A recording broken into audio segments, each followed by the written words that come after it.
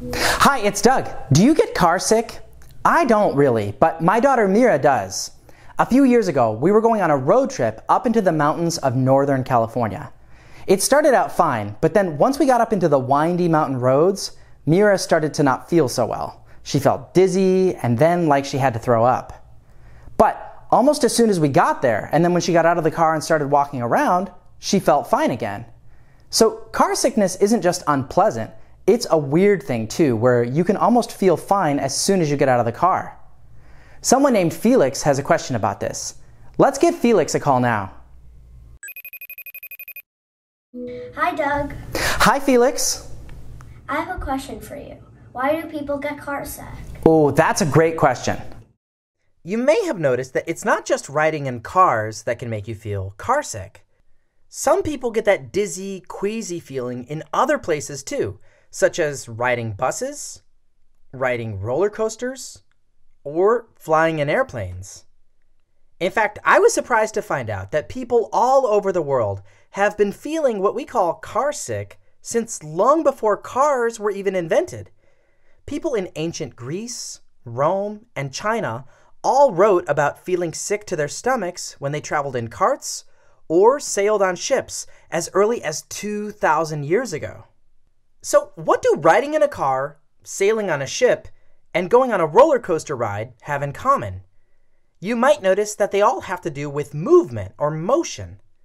The word we use to describe this whole category of feeling sick is motion sickness.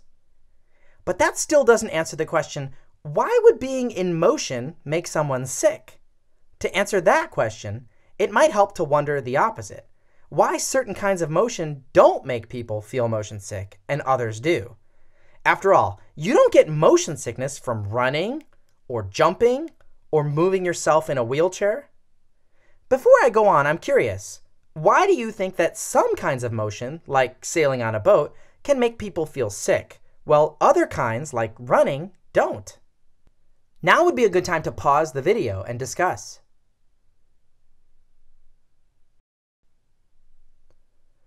Okay, you ready?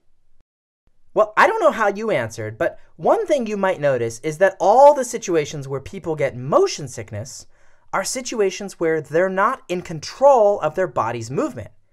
If you run, for example, you're moving your body with your legs. You can control how fast you go if you move side to side or bounce up and down as you run. But when you're riding in the back seat of a car, the car is moving your body, not you you can be sitting completely still in the back seat and still be speeding down a road. Noticing this difference, that people only seem to get motion sick when their bodies were not in control of their movement, that led scientists to think that maybe motion sickness has to do with your senses. You probably know about at least five of your senses sight, smell, taste, hearing, touch. And that there's different parts of your body for different senses. You know, your eyes help you see, your nose helps you smell, your tongue helps you taste, and so on. These body parts send messages to your brain about what your body is doing and experiencing. But would it surprise you to know that you have other senses besides these five? Lots of parts of your body send messages to your brain your skin, muscles, joints, even a part of your body deep inside your ear, your inner ear, all send messages to your brain about where your body is in space and whether you're still or moving and how fast. When you're in control of your own movement, all of your senses are sending the same messages to your brain. Like, let's imagine you're running down a road. As you run, all your senses are telling your brain the same thing I'm moving. Your joints and muscles tell your brain that your legs and arms are moving. You can see the ground moving beneath your feet, and you feel the air rushing past you. Your brain isn't surprised by these messages. After all, you're the one making the movement happen. But when you're not in control of your own movement, now suddenly there's a chance for your senses to send your brain different messages. For instance, instead of running down a road, let's imagine you're riding down that same road in the back seat of a car. As the car speeds forward and bounces up and down, your inner ear tells your brain that your body's moving. But what about your other senses? Think about what you see when you're riding in a car. If you look out the window, you might see the road moving by you. But if you look inside the car, you might see things that don't look like they're moving at all. Like you might see your legs resting still on the seat, or your seatbelt, or the driver in front of you. Your eyes might be sending your brain signals that you're still, and at the same time, other parts of your body are sending your brain signals that you're moving. Scientists think that the confusion your brain experiences when it gets these mixed signals might be what makes you feel motion sick. If that theory is true, it points to a way that might help you feel better when you do get motion sickness.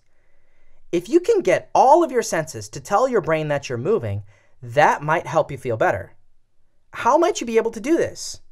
If you're in a car, maybe you could look straight ahead out the window so that you see the scenery moving. Still, this trick doesn't work well for everyone. And there's another thing too. Some people seem to get motion sickness much worse than other people. And some people don't get motion sick at all. If motion sickness comes from your senses confusing your brain with mixed messages, that doesn't really explain why that confusion makes some people feel sick, but not others. Which is why some scientists think maybe we still don't have all of this figured out yet. There may be some other pieces to this puzzle, or perhaps a different answer entirely, which we haven't figured out yet. Maybe one day one of you will figure it out, or even find a way to cure motion sickness for everybody. That's all for this week's question. Thanks, Felix, for asking it. Now, for the next episode, I reached into our question jar and picked out three questions sent in to us that we're thinking about answering next. When this video is done playing, you'll get to vote on one. You can choose from How do solar panels work? Why does it sometimes hail when it rains? Or why don't people fall out of roller coasters when they go upside down? So submit your vote when the video is over. We want to hear from all of you watching. There are mysteries all around us. Stay curious and see you next week.